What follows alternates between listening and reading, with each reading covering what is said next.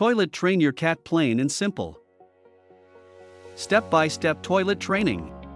Okay, so you've made the decision to toilet train your cat. Let's get down to business and figure out how to do it. It is easier to train your Muffy or Scooter when it is younger. How interested is your cat in the toilet? Is it common for her to walk around the toilet in the bathroom? Is it true that she enjoys playing in the water? It will be easier to change a cat's behavior if it is young. Training a 5-year-old, 13-pound cat will not be successful. It will be easier if the feline is young. Under the toilet seat, place a cat trainer liner. These can be found at any good pet store, Walmart, Kmart, and other similar establishments. Cover the liner with kitty litter. It's likely that your cat will play in it for a time, but that's fine.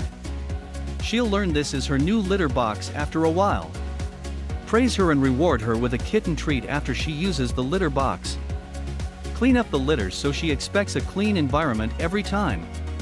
Cut a hole in the liner so the waste may get into the toilet after she's done her business on it multiple times. She'll grow accustomed to the noise.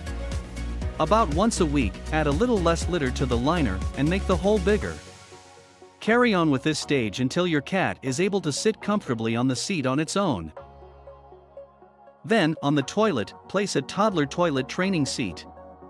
Initially, placing a large amount of litter on the seat will make your cat feel more at ease.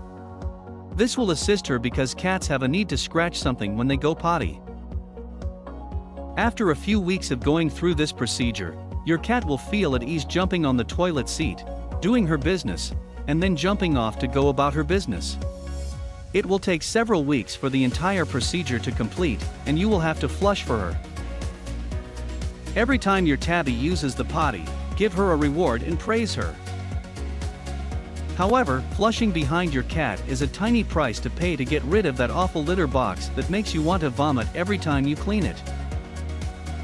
Alternatives on the market, there are now self-cleaning litter boxes and even a flushable kitty toilet. They can be pricey, but they're an excellent option if you don't want to spend the time and effort toilet training your cat.